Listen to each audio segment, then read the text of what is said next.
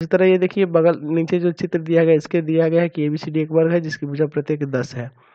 तो दस भुजा तो छायांकित भाग का क्षेत्रफल। तो भुजा है तो यानी वर्ग का क्षेत्रफल होता है, भुजा का स्क्वायर यानी दस गुना दस, और माइनस कर देंगे ये चतुर्थांश जो दिख रहा है। तभी ना आएगा छायांकित भाग का। तो चतुर्थांश का कैसे निकालिएगा? तो one by four one by four pi तो पाई की जगह थ्री पॉइंट वन फोर रख दीजिए, और आर जो होगा दस गुना दस।